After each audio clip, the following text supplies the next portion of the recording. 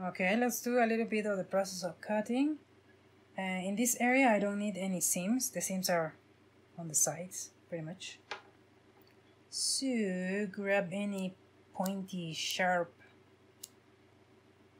scissor you have and let's do this.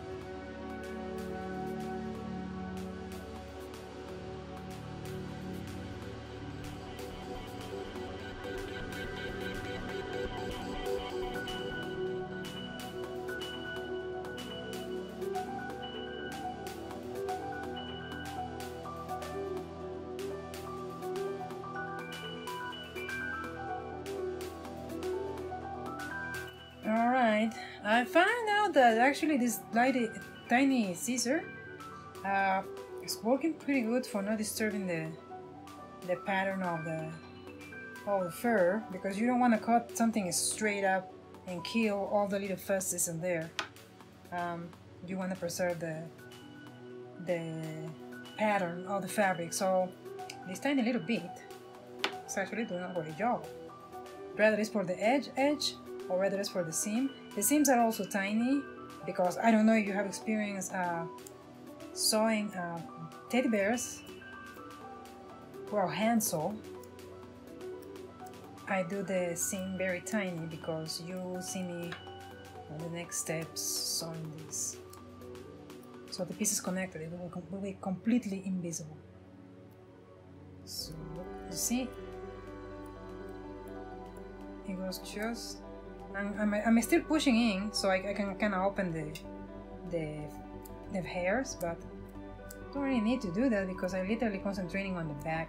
I'm not going all the way across like with a, a big scissor, so I don't know, but this is working pretty good.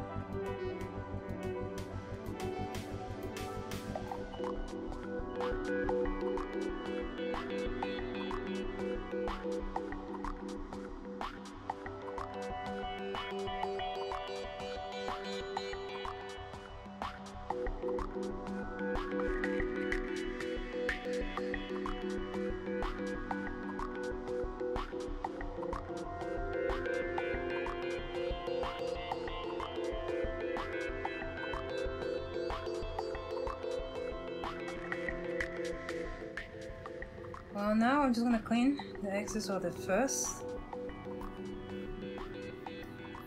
Well, this is mostly to not make a mess. You could skip this part, but you're gonna make a big mess.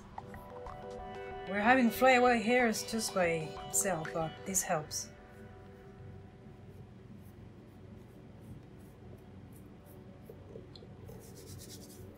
It helps the cause. Trash can right beside me. And it's beautiful. All I, I can see all the, I mean the tiny little hairs on there. I did not kill nobody on the edges. That was just perfecto.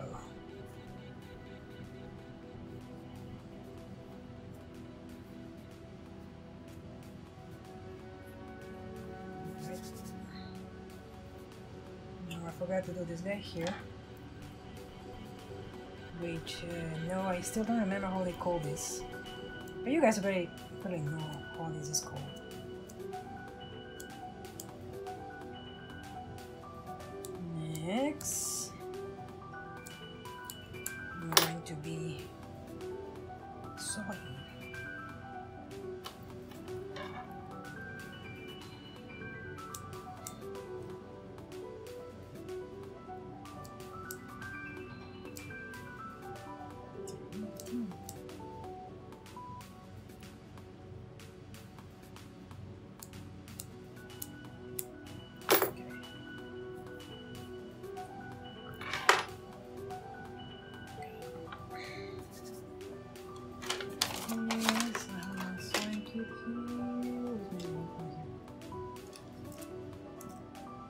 Luckily, I have something. Well, look pretty much close to it.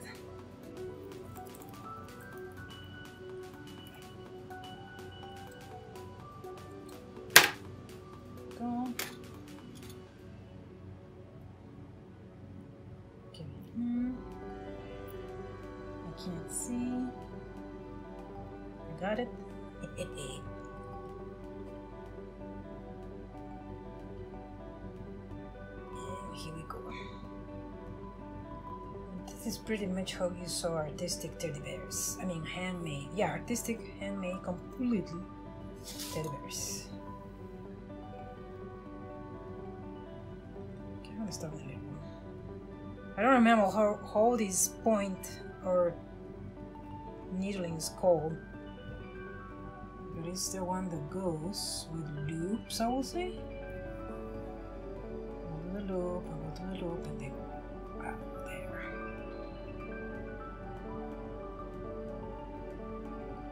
Slow because uh, a big tendency to tangle. Again, very small stitches, I will call it. And then to the loop. I actually don't even remember how this point is called in Spanish, so. ladder, I will say. Uh, this ladder? No, ladder is for something else. Ladder, I believe, for embroid- embroidery. Embroidery. Embroidery.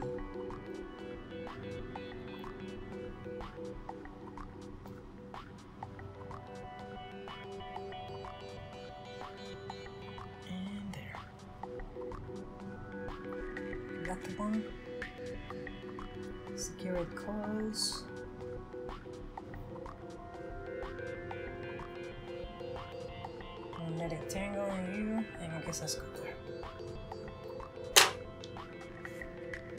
there. First one of those little parts. If you have any angles or cuts, that's done first. Here I'm gonna start from the edge. It's the same. Look. I'm not designing my look there, so I'm gonna start doing the point right away.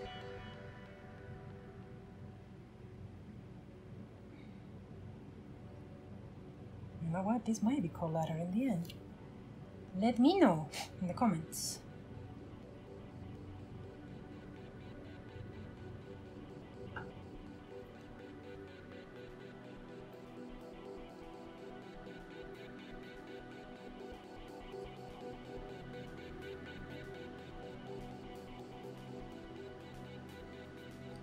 It's probably about, uh, let's see. Hmm. Oh, probably the same distance I live here, maybe even less than that. I will use less than that. Let me see, I can tell you that in centimeters. This is about 3 to 4 millimeters. The edge. Here I have none, but I still am getting some of it. And it's just good.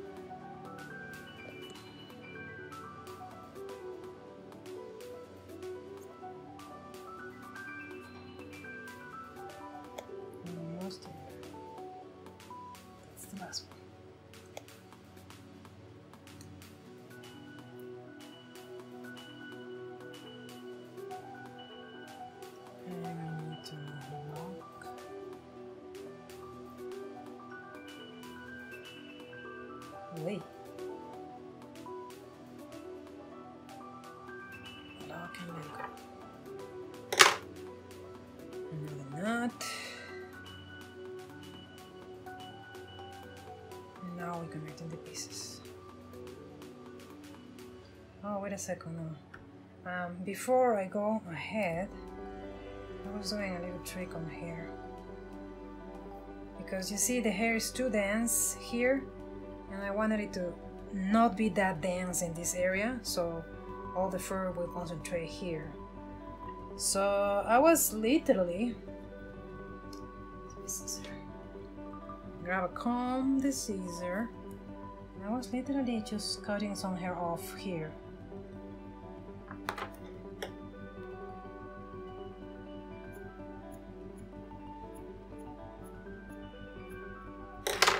Like in patches.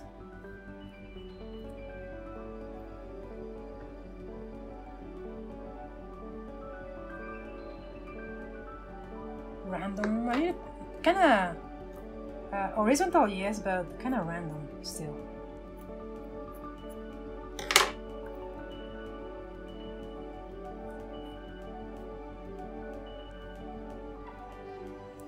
Nothing going down. I'm gonna go up to this area at least, and down the fur.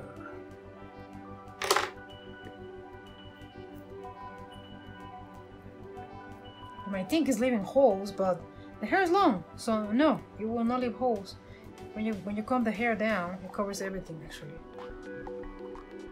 So no problem on there.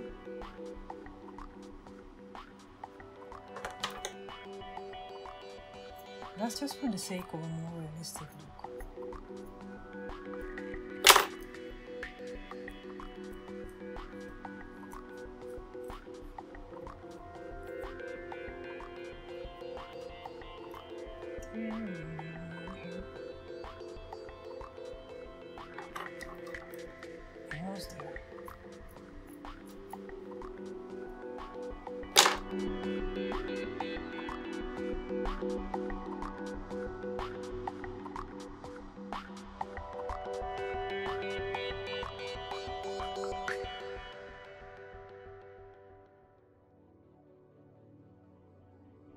Literally caught in the lines there. But it's not, see, it's not affecting. The pattern is actually making it just look thin. Thin hair.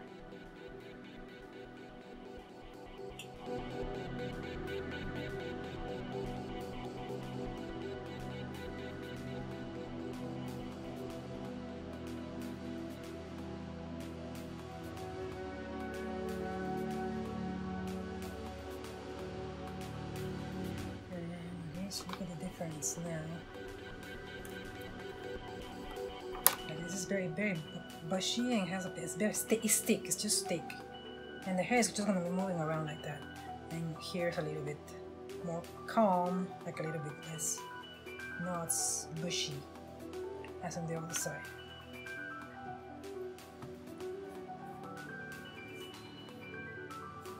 Hey, okay, so this is all uh, it together. Now I'm going to turn it up. So this is how it looks. Now I'm going to try over my shoe here.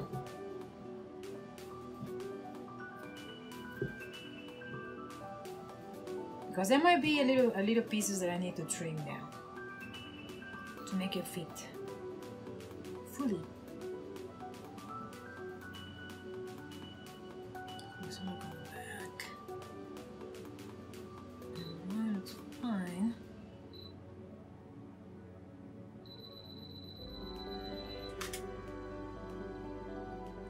Uh, I'm gonna pin down the middle, uh the middle, so I can get a better perspective in the,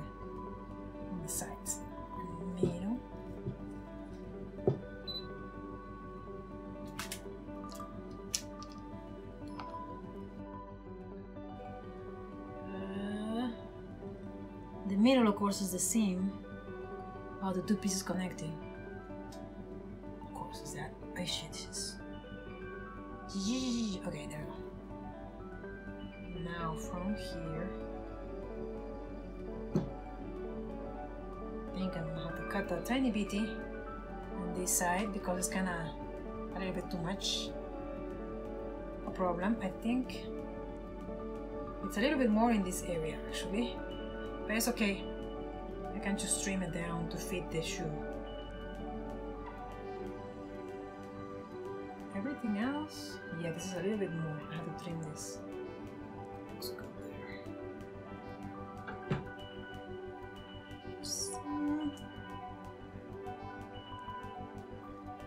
Let's see. This is gonna go all over there, here, here, here, here, here, and here. It's not that bad actually.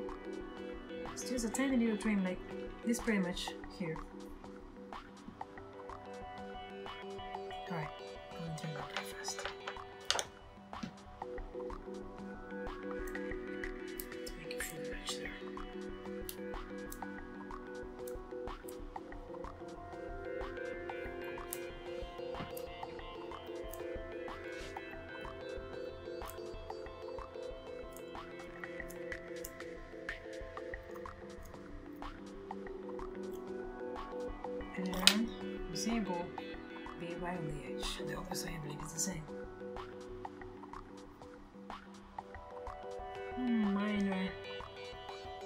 Differences with the pattern that we did. And this is actually very small, say. If it's not nothing, just a tiny little piece on here. I'll just go straight because I'm not affecting really the, the pattern. You see? On there. Plus I want to go fast. Okay. Clean a little bit.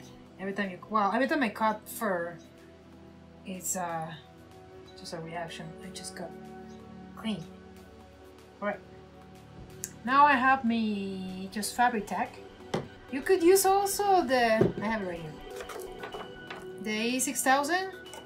Uh, that will be stronger and more harmful, harmful for yourself, but uh, actually I will use this because it has to go fully glue into the shoe so probably I will use it in these edges. And the rest is going to be with the fabric tag okay? First first have fur everywhere I think I'm gonna start here. There we go. Fabric glue here we go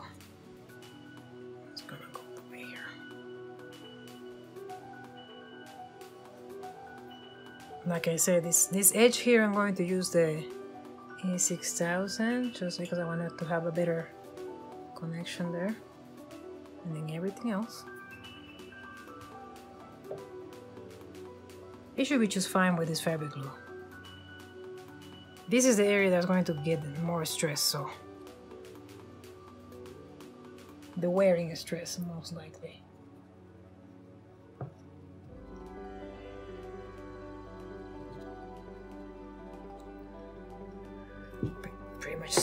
In paint. Then we'll go over it. Trying to get the middle part right in there. I don't want to get that wrong. I can come back and do the little edges, no problem. The thing is I want it in the right place. More pressure a little bit there. I will totally come back and do the little edges. Okay, let's do this side first, I guess.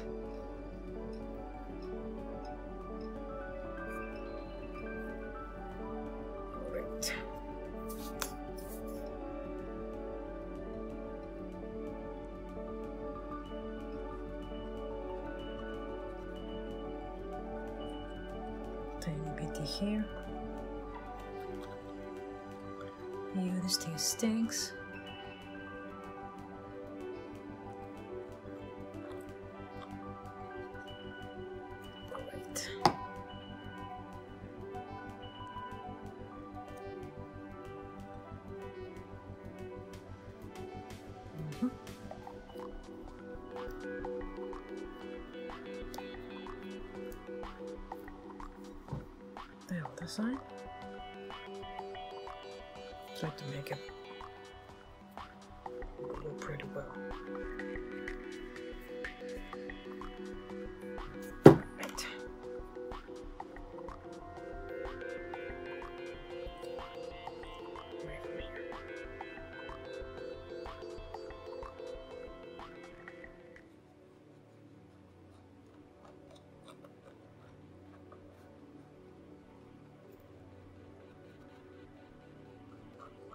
Perfecto.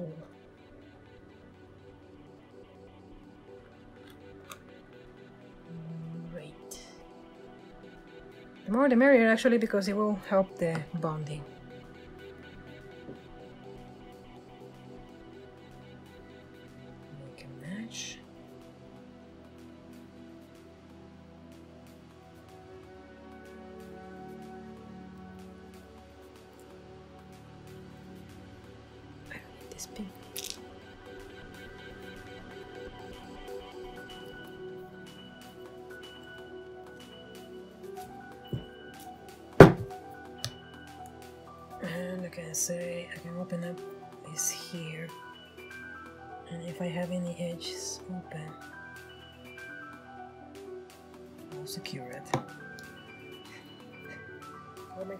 Hair my nose. No.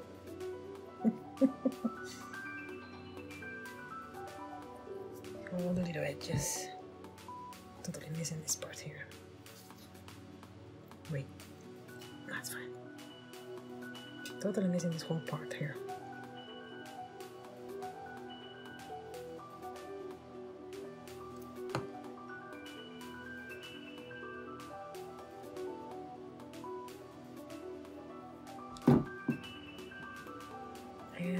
Edge here.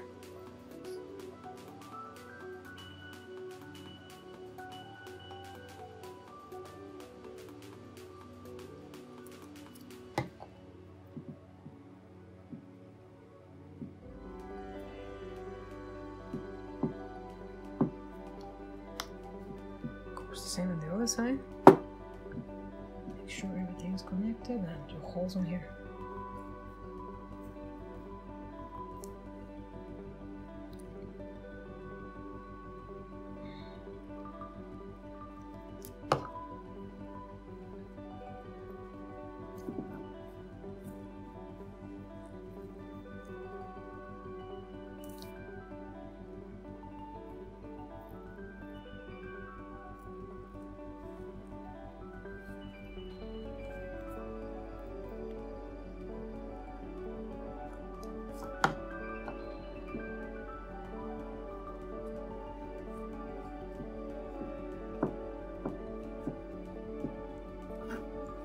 How about here?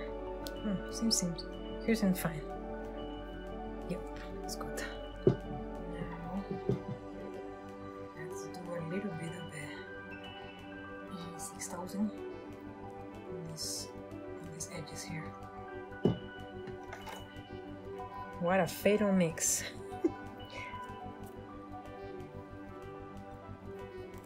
Remember when I told you the edge of the shoe? Because this is where I'm gonna be pretty stressing when trying to wear this costume, this shoe. So it should be stronger over here.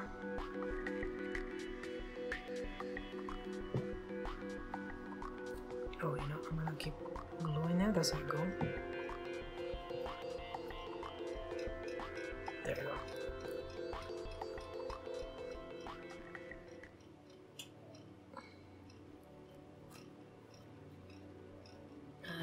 I can't see it. It's good. Right. Alright. Trying to get to fit all on there.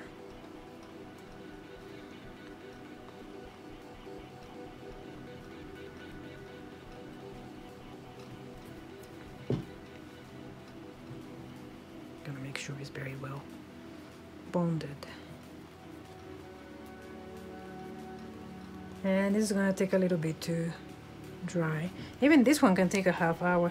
I believe the E6000 can take a little bit also, but that's pretty much. Then I just put everything in place. You can use a brush, you can use a toothbrush. Make really, really sure that these inner parts are well. See, helped me to get a little, little curvature there. That's pretty cool.